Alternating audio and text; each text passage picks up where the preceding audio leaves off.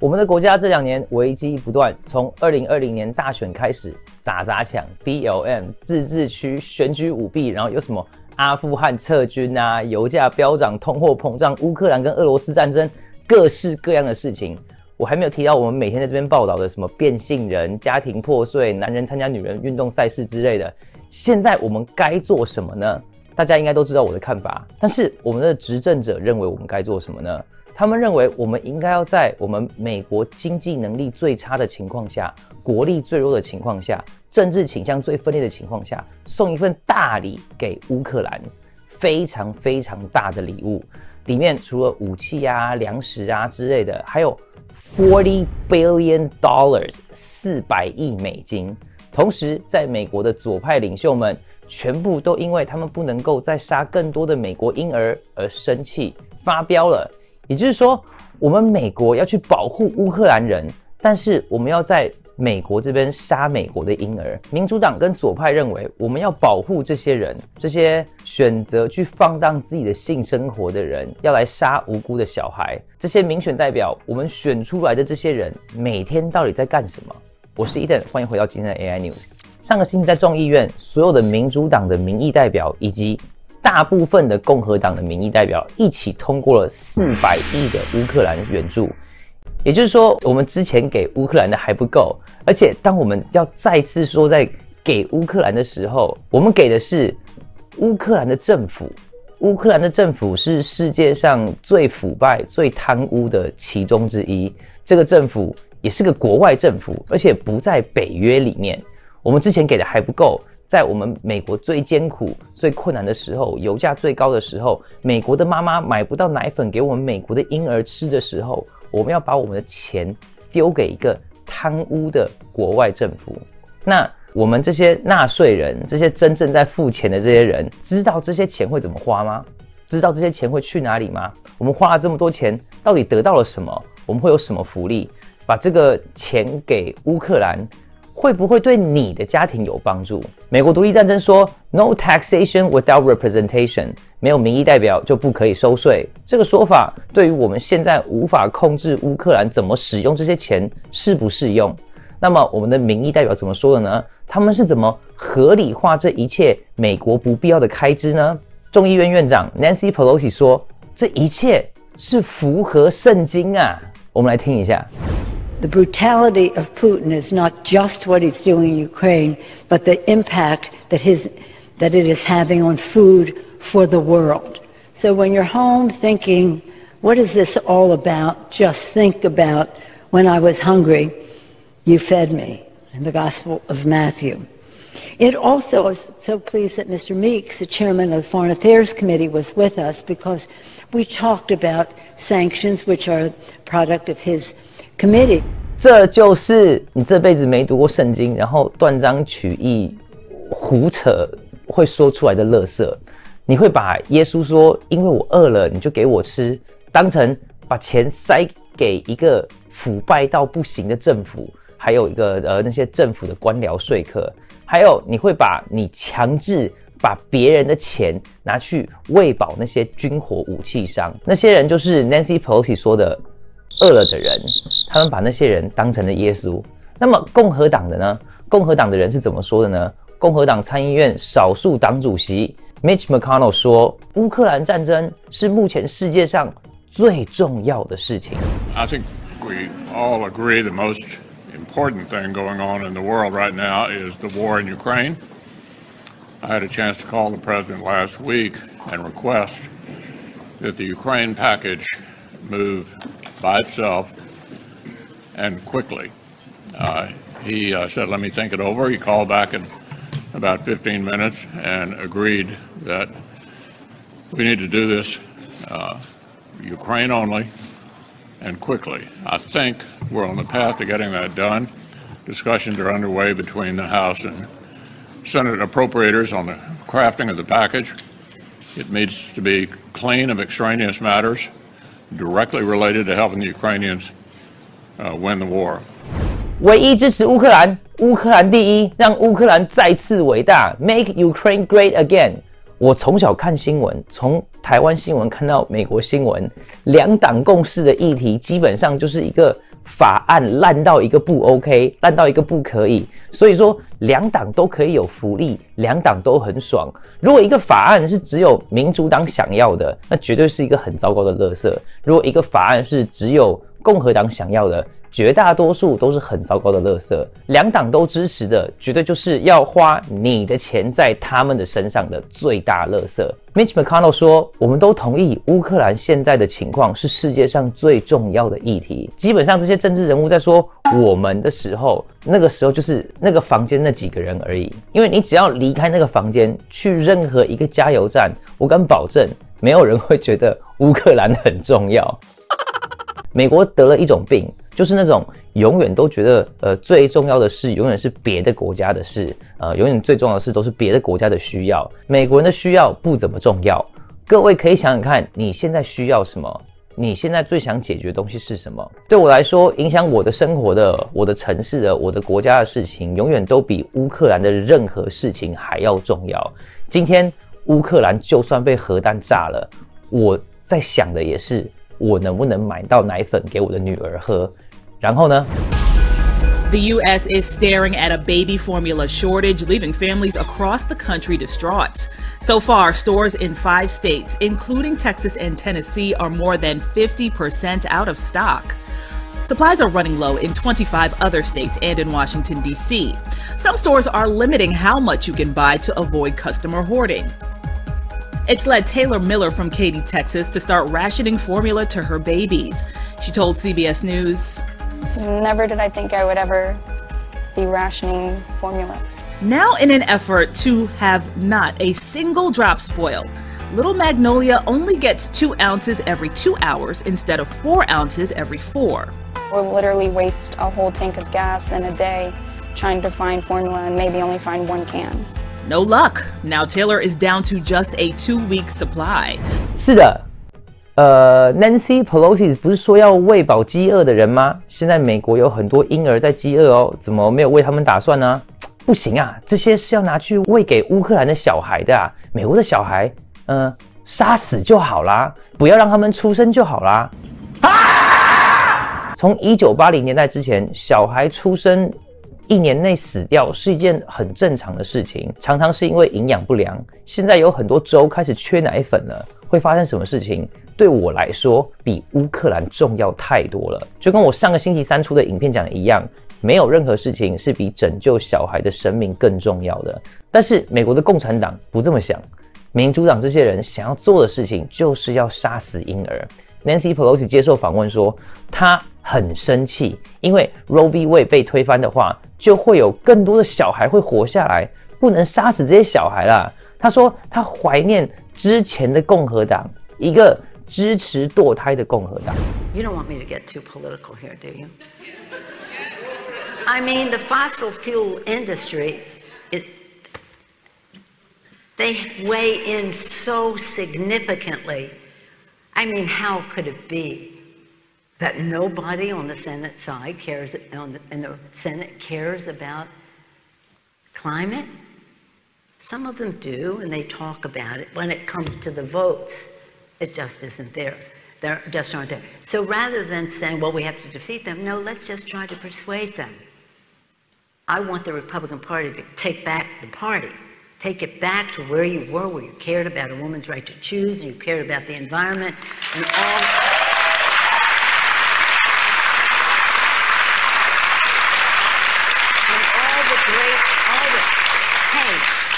Nancy Pelosi, saying this country needs a strong Republican Party, and we do. Not a cult, but a strong Republican Party. 回到共和党支持堕胎的时候，呃，那个是什么时候？他说的没错，共和党就是一个窝囊废，一个不敢为正义发声、不敢为正确的事情做决定、长期软弱妥协，为了要合一。啊，你要重新定义婚姻啊？呃，好吧。啊，你要重新定义男女啊？呃，好吧。啊，你要吸毒合法化？呃，好吧。呀，共和党一直以来都是这个样子的党，直到川普出现。我不是在说什么，呃，川普是共和党的救世主，他才刚 endorse Doctor Oz，一个支持堕胎的一个明星医生。但是至少共和党有种反抗了。不过这就是民主党跟左派一直在提倡的东西，就是一个软弱无能的共和党。你们可以继续存在啊，我们可以在同一个国家，我们不不需要有纷争啊，只要你完全听我的，只要照着我说的话去做就好。我们想什么，你们就去做什么就好。你们共和党闭嘴，同意就好了。这个样子，我们就可以有所谓的两党共识。接下来，我们有这位叫做呃 Janet Yellen，她是经济部部长。她说，废除 Roe v. Wade 会导致经济下滑，堕胎可以促进经济发展，反堕胎会伤害到美国的经济。我们如果杀小孩的速度变慢的话，就会伤害美国的经济。If the draft of the court's majority holding in Roe vs Wade is the actual decision, what impact will the loss of abortion access mean economically for women? Well, I believe that eliminating the right of women to make decisions about when and whether to have children would have very damaging effects um, on the economy and would set women back decades. Roe v. Wade and access to reproductive health care, including abortion, helped lead to increased labor force participation. It enabled uh, many women to finish school. That increased their earning potential. It allowed women to plan and balance their families and careers. And research also shows that it had a favorable impact on the well being and earnings um, of, of children. OK，还在说堕胎 跟献祭孩童没有关系的人，请站出来！听到这刚刚那个影片，他说，如果我们不让女人杀小孩的话，女人进入职场的比例就会降低，导致经济衰退。所以说，我们要杀小孩才可以救经济啊！呃，这个就是所谓的优生学，希特勒那一套。OK，我们把那些不好的、不值得在世界上存在那些人，把那些人的基因慢慢的排除。我们是为了我们的经济发展，为了我们未来的生活水平，我们就应该把那些人全部杀光。这个不只是在道德层面上极度恶心以外，因为你完全抹去了一个小孩的生命的神圣性。这也是给女人的一个选择：你要选择你的孩子，还是你的事业？你可以在事业上很成功、很伟大，或者你可以选择做一个母亲。对这些极端的撒旦教的人来说，正确答案就是为了我的私欲，为了我的工作，为了我的事业，我要杀死我的孩子。这个就是我们的经济部长认为我们的女人该做的选择。那我知道很多保守派人会讲一堆什么，呃，女人不需要牺牲啊，他们会说像诶 A C B Amy Coney Barrett。你看他就是又又有自己的小孩，又领养一堆小孩，又聪明又能干，而且还是美国的最高法院的大法官，简直就是一个登峰造极的人生呐！保守派很爱利用呃这类的例子，这是事实，也是个很好的例子。但是绝大多数的女人，绝大多数的人，人生是不会这么顺遂的。人生通常是充满选择的，有小孩的确会有经济上面的牺牲，就像我们在做神的事工。的确就是会有经济上面的牺牲，我们三个都很明显的感觉到，生活上面、娱乐上面都会有不同的牺牲，这也是事实。我们要做的事情不是逃避这些问题，或者跟左派一样拒绝承认事实。只要有小孩的人就会知道这些事实，有小孩就表示你的生活可能没办法这么华丽。原本夫妻两个人出去只需要付两张机票一个房间，突然就变成四张机票。那就只能在家里附近旅游了，但是这些牺牲都是值得的。你为了你的孩子牺牲，可以得到的就是一个家庭，会让你真正满足的礼物是目标，是爱。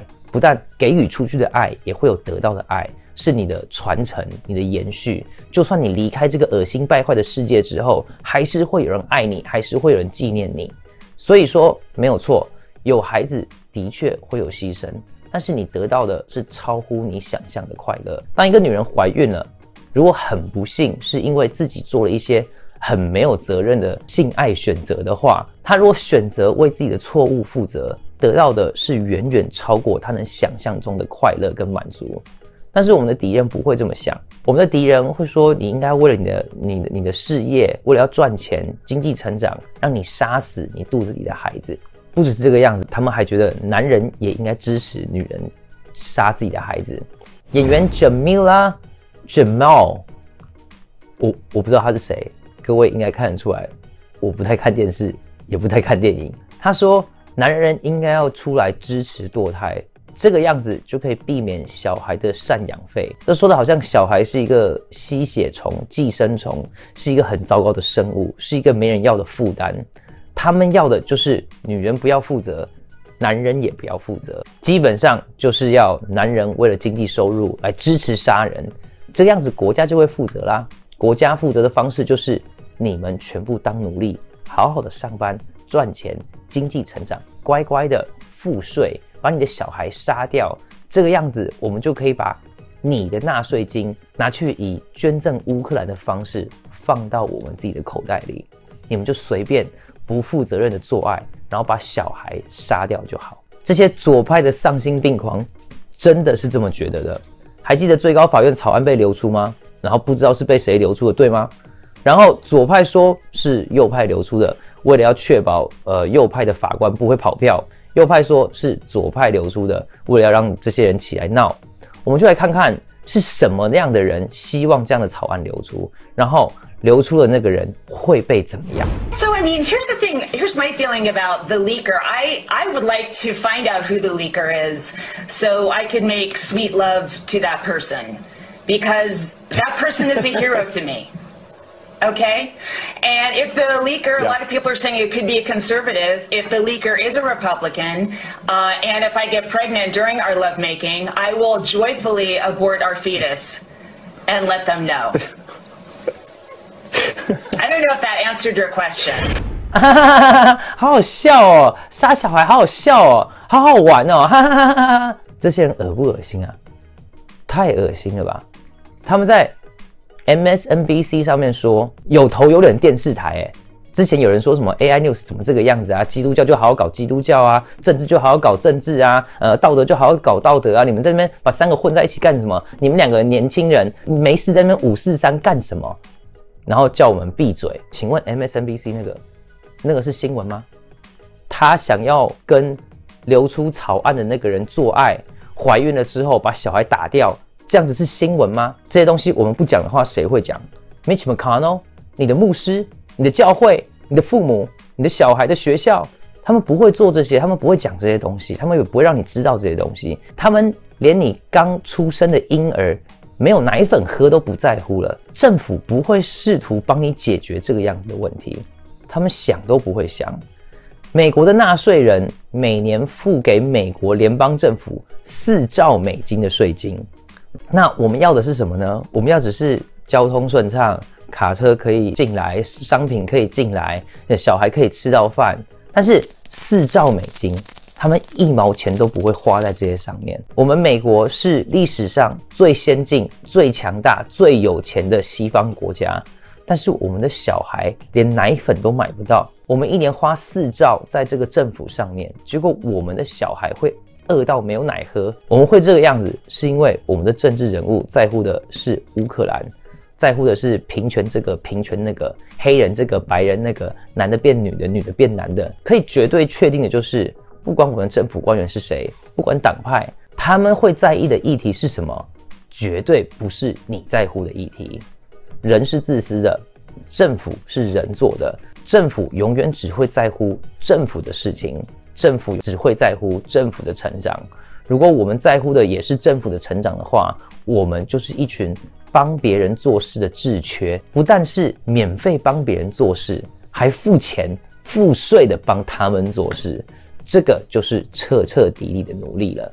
我在这边说的，绝对不是说什么我们要拒绝付税还是什么的。我希望我们的立场能跟耶稣一样，凯撒的归凯撒，我们要把属神的给神。付出去的税金，他们要怎么花？他们有一天要跟神负责。他们要怎么贪污，我们管不到。但是我们不能跟他们一样，属神的要给神。这里不是说什么呃十一奉献什么之类的。不过你的确是可以来赞助像 AI News 这样的属神的事工。但是重点是，生命是属于神的，小孩的生命是属于神的。我们无法凭空制造出人命。那么我们就没有权利为了我们自己的欲望来消灭婴儿的生命。国家败坏，政治人物腐败是历史上常有的事情。我们只有做好我们自己，保护生命，做神的仆人，才可以翻转这个国家。就跟一开始的影片说到的一样，共和党也不一定可靠。最后一个新闻，呃，这个是在周末在南加州呈现发生在 Laguna Woods 发生的枪击案。当然，纽约的 Buffalo 的枪击案死了十几个人，呃，加州这个周末也发生了三起枪击案，都跟帮派有关系。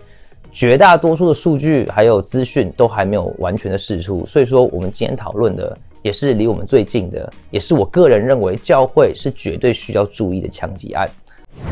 枪击案发生之后。我在很多 chat 里面就看到，呃，很多一堆 po 文，说是一堆文章，说什么，呃，凶手是台湾人啊，凶手是大陆人啊，什么什么这个啊，这个这个那个的，请不要跟左派一样，一直在那边打种族牌跟国际牌了。那个人，不管是台湾人还是大陆人还是外星人，他就是个坏人，他就是个杀人犯。很多华人媒体跟华人组织，基本上那都是左派组织，开始呼吁要有更多的枪支管理。纽约。加州、芝加哥这几个地方是全美国枪支管理最严重的地方，而且永远都是枪击案最多的几个地方。原因就是因为那些坏人知道人民好人被政府打压，普通的人都没有枪，普通的人都害怕枪，所以他们才敢大胆的去那边犯案。纽约巴甫那个枪手在自己出来的这个宣言里面也说了，他是要去那边杀黑人的。他就是个种族歧视的一个人。还有纽约的枪支管理，让他不用害怕人会反击，因为他们没有枪。这个就是犯罪心理学。我在这里呼吁教会，因为堕胎法案的关系，教会一定会被攻击。除非你的教会是什么那种彩虹旗呀、变性人的教会，教会一定要提倡宪法第二修正案。教会一定要鼓励自己的教友持枪保护自己跟自己家人的安全。祷告。要同时付出行动才有用，要跟要跟神一起，要跟神一起做你祷告的内容才有用。建城墙的时候要边工作，另外一只手要拿着武器。如果你是教友，你打算持枪保护你的教会的话，请你一定要跟你的牧师说，跟你的牧师讨论，这个样子牧师才可以让这些持枪的人彼此认识。真正发生事情的时候，你们才可以合作击毙那些坏人。而不是互相认为彼此是坏人，然后结果被彼此打死。要记得，就是坏人原本就不受法律的控制，枪支管理管的是原本就守法的好人。就算全面禁止使用枪支，坏人还是会有枪，坏人还是会用其他的武器杀人。例如英国，他们禁枪了之后，用刀子杀人的比例就大幅上升。我们无法阻止那些变态杀人狂。但是最好喝止他们的方法，就是我们强大到他们不敢再做这些事情。所以说，我在这边绝对呼吁所有的教会，开始保护自己，还有开始了解你州还有市区的枪支法律，赶快去买枪，保护自己跟自己的家人以及自己的教会。有些人说，AI News 都只是把问题指出来，没有解决的方法，可能就是他没看到最后。因为我们每一集都会说我们能做什么，跟我们该做什么。持枪这件事情是我一直不断在呼吁的，这个就是我们现在马上可以做的事情，来保护我们自己，跟保护我们的教会。我是 Ethan，谢谢大家收看。更多美国情报，请持续关注 AI News。南加儿童合唱团现在开始报名啦！南加儿童合唱团成立于1998年，曾到纽约、波士顿、华盛顿特区、夏威夷等多处演出，并参与国内外各大音乐节，荣获各大奖项，均取得优异成绩。从即刻起接受报名，课程均由专业指挥教师指导。五月二十二号前报名都有特别优惠。新一季将在六月十一号开课，每个星期六下午有分四到八岁、九到十二岁以及十三至十八岁不同年龄段的课程培训。欢迎打电话六二六七七九六七六七报名咨询，或是登录网站填写资料报名。记住，在报名的时候，请告诉他们你是看到 AI News 来报名的，会有一部分款项特别赞助到我们的施工哦。